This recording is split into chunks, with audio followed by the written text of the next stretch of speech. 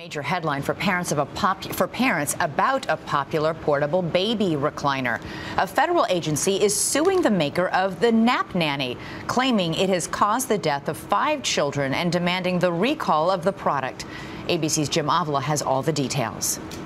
This morning, the government says it's a dangerous product with a faulty design that allegedly allows children to just plain fall. The Consumer Product Safety Commission says there have been 70 complaints from parents about Nap Nanny, including five deaths. We believe it's a hazardous product. For five months, the makers of the Nap Nanny have defiantly refused to pull its product or offer refunds. So now the government is taking the rare step of asking a judge to force it off shelves. Nap Nanny was invented by a Philadelphia sportscaster and mother named Leslie Gudel. The reason why I came up with it is my daughter would only sleep in her car seat. In a statement, she says she is heartbroken for the families who've lost a child, but says the victim's parents misused her product by either not strapping the baby in or placing the device on a table or in a crib. The Nap Nanny is for floor use only.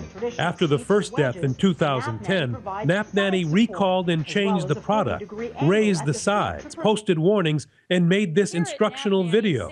But children continued to die, the latest this summer, and the company again refused to take responsibility. Quote, no infant using the Nap Nanny properly has ever suffered an injury requiring medical attention. For Good Morning America, Jim Avila, ABC News, Washington.